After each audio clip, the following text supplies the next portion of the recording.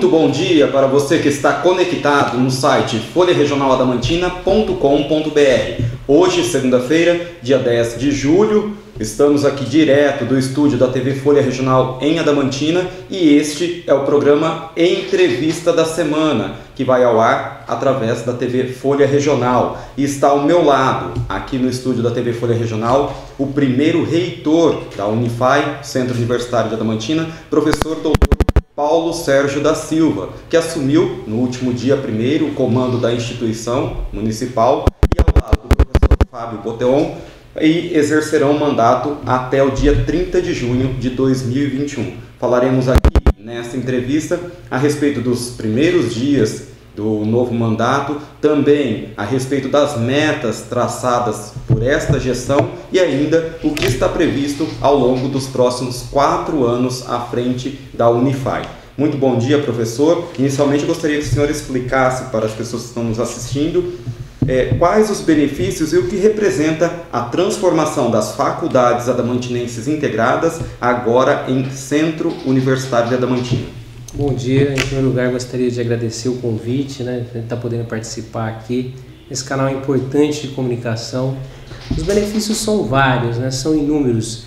É, nós, agora nós podemos expedir os nossos próprios diplomas, né, também não só para a nossa instituição, mas para outras instituições também. A gente não precisa se deslocar a outro centro para poder fazer isso, alguma outra universidade, nós temos autonomia para isso. Né?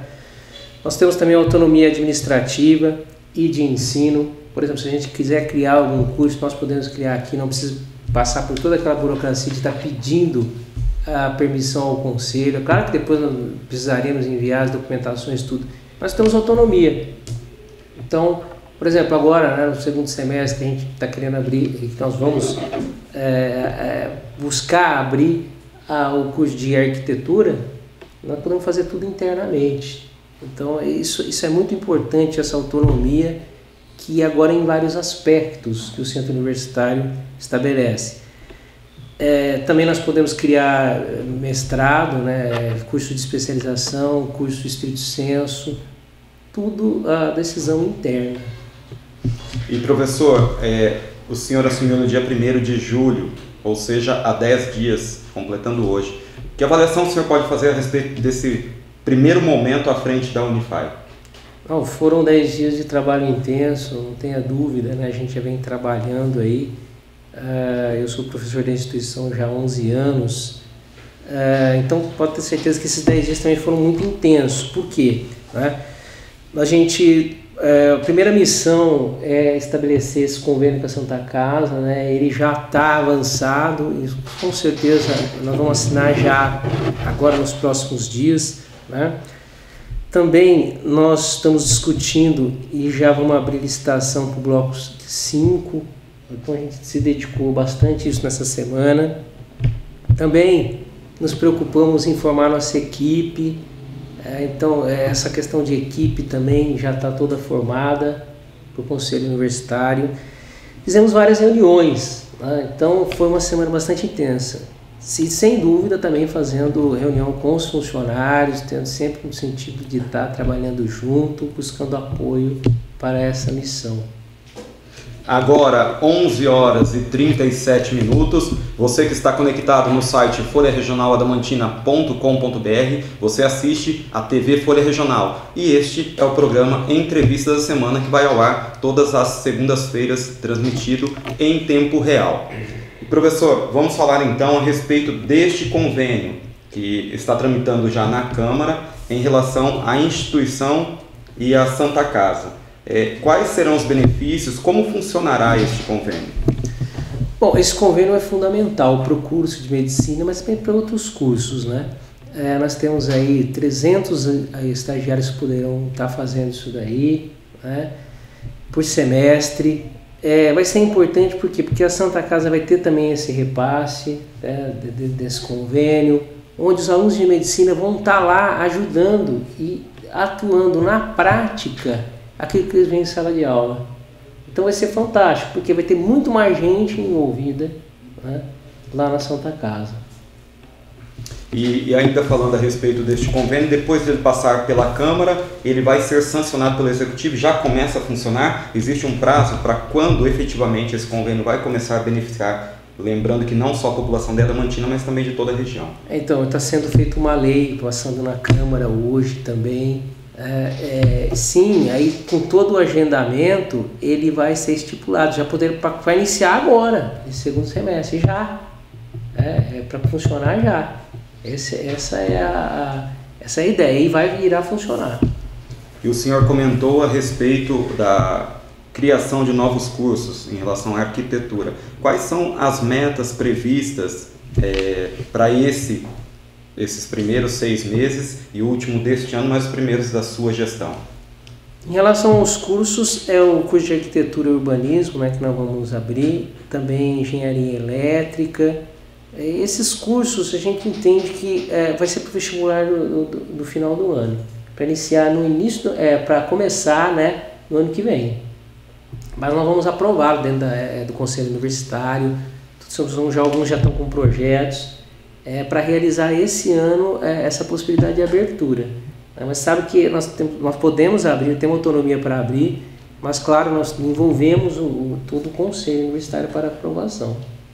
E além desses cursos, o que mais está previsto para esse começo de gestão?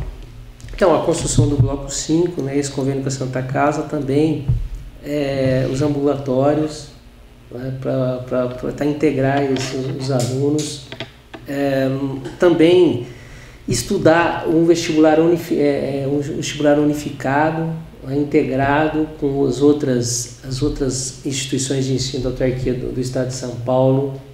E também buscar mais bolsas de fomento junto a órgãos de pesquisa, mas principalmente ampliar a extensão universitária.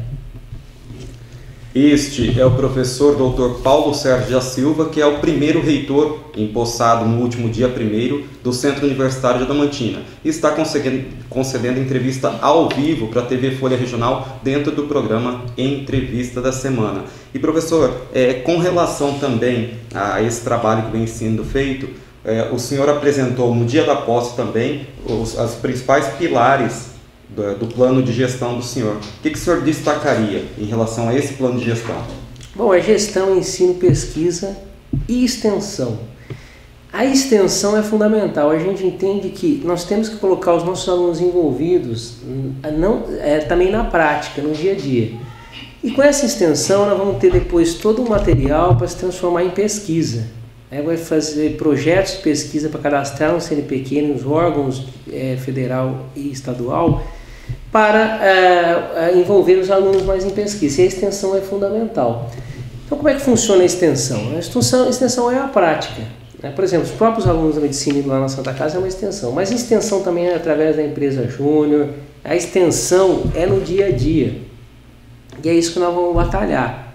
Por exemplo, fizemos uma reunião voltado para a reativação, é, para a construção do, do, do matadouro. Podemos também estar trabalhando é, em extensão em todas as outras áreas, né? não só na área de biológicas, mas também na área de humanas, exatas e agrárias, né? através de convênio com a agricultura familiar. Então, quer dizer, nós temos hoje uma pró-reitoria de extensão que trabalha só com a extensão, ela tem toda a dedicação exclusiva para trabalhar com a extensão e nós não tínhamos isso antes. E temos também um setor que é a captação é, de verbas e convênios. Né? Então nós também temos uma pessoa para estar tá correndo atrás disso. Então vamos ter mais gente para estar tá trabalhando agora com o centro universitário e tudo isso vai ser possível com a ajuda da comunidade e também com os outros órgãos. Além do, de todo esse trabalho nesses primeiros 10 dias do, do mandato, o senhor esteve também na semana passada no Conselho Estadual de Educação. Como foi esse primeiro contato como reitor do Centro Universitário de Adamantina? Muito bem, é verdade. Na quarta-feira estivemos lá, né, que eu fui anunciado como novo reitor e protocolei lá né, os nossos, os nossos lates, né, os nossos currículos. Foi muito boa também porque eu já conhecia o conselho, mas como reitor foi a primeira vez. E sempre que necessário nós iremos.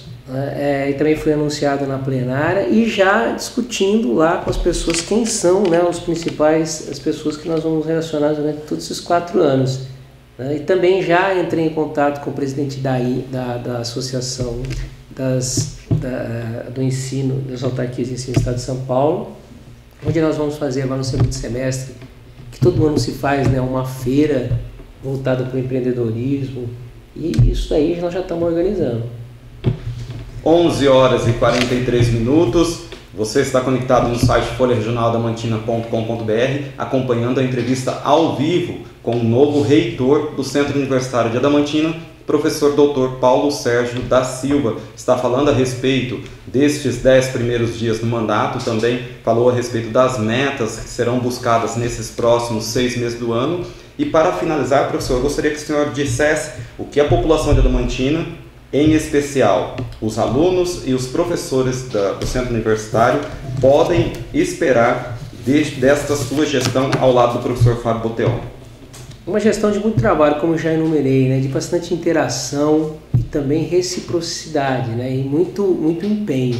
Então nós estaremos trabalhando aí 100%, nos doando para a FAIPA, também para a Damantina e região, para fazer uma gestão totalmente voltada de forma democrática e sempre, eu, eu, eu enfatizo, sempre observando as leis. Nós estaremos fazendo uma gestão totalmente voltada para a extensão, para o ensino, pesquisa e, e, e, e sempre buscando, né, acima de tudo, promover a, a retribuição que nós devemos ter à comunidade. A prestação de serviços à comunidade está acima de tudo. Muito bem, muito obrigado pela presença. Você acompanhou a entrevista ao vivo com o professor Dr. Paulo Sérgio da Silva, que é adamantinense e assumiu como primeiro reitor do Centro Universitário de Adamantina, ao lado do professor Fábio Boteon. O programa Entrevista da Semana tem o apoio da Adastel, que agora traz para a Adamantina e região a transmissão de internet por fibra ótica. Muito obrigado para você que nos acompanhou até agora. Lembrando também que esta entrevista estará disponível em vídeo no site folharegionaldamantina.com.br e você poderá acompanhá-la novamente. Voltamos na próxima segunda-feira com mais uma edição do programa Entrevista da Semana. Até lá!